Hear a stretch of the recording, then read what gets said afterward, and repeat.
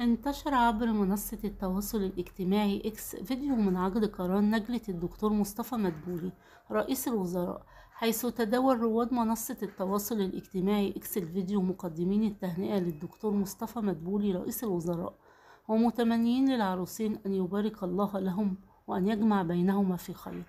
في حفل بهيج ومفعم بالسرور والفرح قام الدكتور مصطفى مدبولي رئيس الوزراء بعقد قرار نجلته في إحدى قاعات مسجد القوات الجوية شهد الحفل حضورا كبيرا من أفراد العائلة والأصدقاء المقربين إضافة إلى كبار من المسؤولين بالحكومة وشخصيات سياسية بارزة ولفيف من أعضاء مجلس النواب والشيوخ ورجال الأعمال الذين حرصوا على تقديم التهاني للعروسين متمنين لهم زواجا مباركا وحياة مفعمة بالبهجة والسرور. أحيا حفل عقد القران ابنة رئيس الوزراء الفنان تامر حسني وذلك في وسط جو من الفرحة والسعادة وتبادل الجميع التقاط الصور التذكارية. وبهذا اليوم المميز ارتسمت البسمة على وجوه الجميع وعمت السعادة قلوب الحضور وبهذه اللفتة الجميلة.